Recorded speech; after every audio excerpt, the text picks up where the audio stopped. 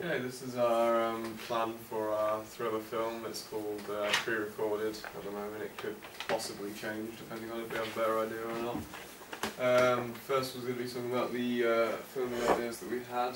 Um, our first idea was uh, a schoolboy, um, aged 16 to 17, so six full years, um, would be seen attached to a radiator through like a chain in a radiator in a attached to a radiator in a warehouse type area. Um, this uh, chain after he wakes up realizing that it was just a dream and then it uh, goes to a point where he's uh, going to school normally and starts to run away and ends up in the same situation. Uh, our idea number two is he's a schoolboy is on his way to the shop, so again it's kind of like the same 16, 17 age limit. Um, he goes to see what's going on and uh, is kind of like peripheral vision because he sees something a bit suspicious and ends up in a warehouse tied to uh, some kind of metal device. So a lot of entrapment is kind of in these ideas, uh, it all, all kind of revolves around them. And our third idea is a boy is actually filming his own film project with his own camera. This kind of adds like a good dynamic for different camera angles that we could use. Uh, having it so that the camera angle is based on his camera movement uh, that he does himself. And um, obviously it uh, goes to a true point of someone sneaking up on him, attacking him and ending up again in a warehouse trapped in some sort of a awful situation. We chose this idea because it was different obviously the ones before, where it's like a generic thriller, film where you're being like chased or followed or you see something, and we thought it would give like different dynamic to thriller conventions and stuff.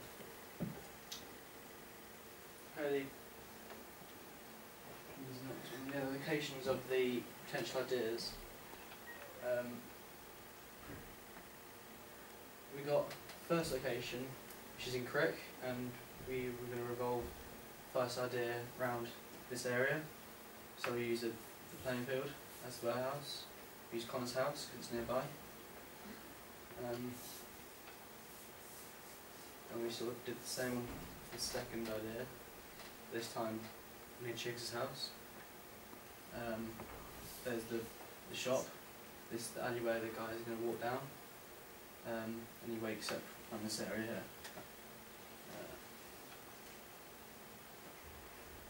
Third idea was in East Haddon. That's my house. Um, down here, there's where the person's going to film himself. Um, there's a little stream down the side here which you can't quite see because of the trees. Um, so, might add some thriller conventions to the idea. Um,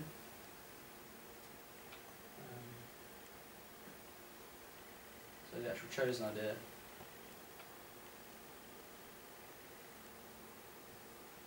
The chosen idea we decided to go for was the uh, the third option of um, the camera being uh, his camera at some intervals in time. We'd switch it obviously with uh, camera angles that we'd take ourselves to make sure to get uh, such things as the 100 180 degree rule and action action uh, shot reverse shot because you can't you, we wouldn't really be able to do that with just his point of view camera unless we did some crazy things that you would never actually do in a real life situation.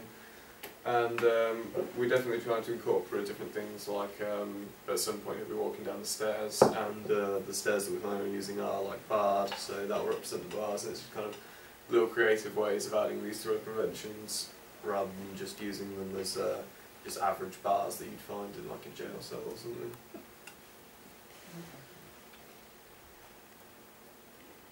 So our final location, we're going to mix the two locations together. So we've got Connor's house, where who we want to do some filming in there, and then we're going to East Haddon, where we'll film down this long stretch here.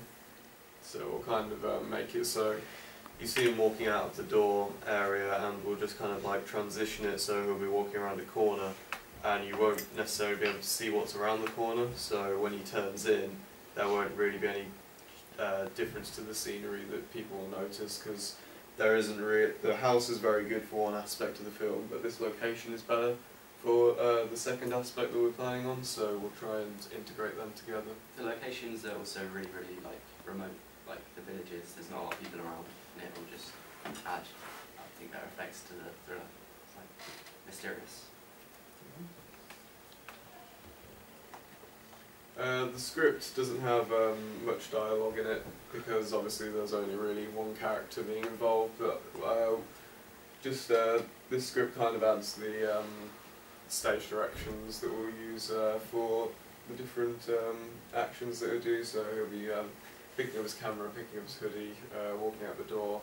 He'll say a couple of lines to himself, uh, kind of maybe just checking that the camera's right, or um, even at some point shouting to the man uh, behind him as when he notices him.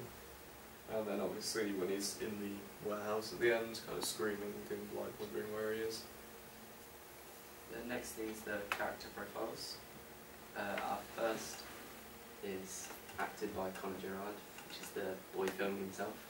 Uh, he's like a schoolboy, he's interested in like technology, and we feel like if he's independent, it'll present like more that he's isolated and there's no one around him, and I'll like create more tension.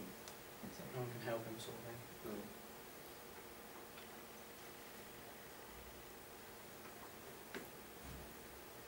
And our second character is acted by Jordan. Uh, he'll be in a black tracksuit. He'll be the antagonist. Uh, he's quite sneaky, but he's also very, very strong. And I feel this like presents a villain. In Kind of like a threat to um, the quite uh, isolated character.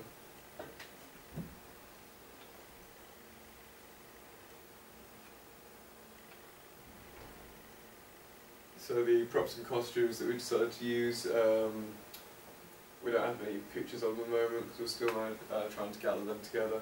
Uh, but the props we're using, uh, the secondary camera obviously, because we will be um, filming from the camera's point of view where we won't necessarily need a second camera in the shot, but when we're doing the other views, such as um, an overhead view of him walking about with the camera, we will need that second camera.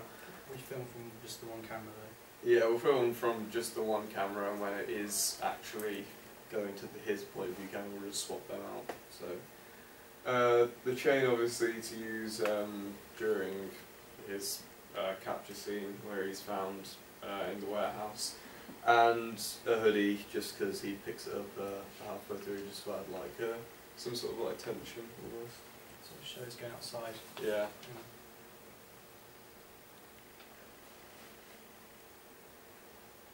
Costumes. Uh, the main character costume will be a white t-shirt, blue jeans, dark blue hoodie. Um, so it shows like a normal teenager boy. Um, so nothing through the convention to do with that. The antagonist costume be black jumper, black shoes, dark green moleskin jeans, and a black gas mask. So you won't actually be able to see the person's face, which create more scare to the film. Uh, the green moleskin jeans will show like him blending in with the surroundings, so you won't see him as much. And yeah, that's the storyboard that we've got at the moment. It just shows most of the uh, the different kind of camera angles that we're going for. There's quite a few mid shots. We've uh, tried to do quite like uh, a reverse shot almost, and there's just different. Um, tried to include long shots too. We have most of the scenery showing because uh, they kind of like isolated feel, like he's alone in the area, and then cutting to a long shot to show that he's actually not alone in the area. And then obviously we have the different um, shots of him actually using the camera, which mainly the start and the end photo. This is our shot list, and we've obviously got a range of shot types with like mid shot, long shot, overhead shot. Um, there's not a lot of health and safety issues. With the, with the shots at the very least, we're not planning on going very high up with the shots. We're all kind of keeping it on one sort of um, level. There may be sort of like um, downward and upward shots, but in terms of like very high uh, surrounding shots, we won't be planning on using many of them, so we won't need like a ladder or anything. Uh, this is our pre-production shot list, so this does include any uh, health and safety issues that we may have just with um, moving around and filming. So obviously, if we're um, going to be using stairs, need to be careful not to fall down them. Uh, as silly as it may sound, it is a uh, an issue that could present itself. Um, when using um, certain uh, lighting uh, as a contingency. We have different days planned to um, kind of use to our advantage because obviously it gets uh, darker much quicker and we want to be filming mainly in light. Uh, obviously the inside scenes we may be able to use uh, artificial light at those points and can be done at any given time but in terms of outside scenes which is the majority of the film we will have to um, make sure there are cons- contingency days that we can use in case uh, it gets dark too quickly. And that is the end of our presentation. Any questions? Why are you deciding to keep the shots much at one level? Um, mainly just to keep it kind of like not too complex because the uh, the story is very um, he's on he's on a very like single level like he's on his own. He doesn't have like he's not very popular. And obviously we wouldn't have all these crazy shots going around and it kind of like just focuses in on that character not very much the wides and we have really high shots it would be showing much of the scenery around him I think we just want to focus mainly on that one character get and show his like adventure and like the isolation that he is. Basically, thinking about it, it'd be like, like a more eerie thing to it, like, abnormal. Anybody else?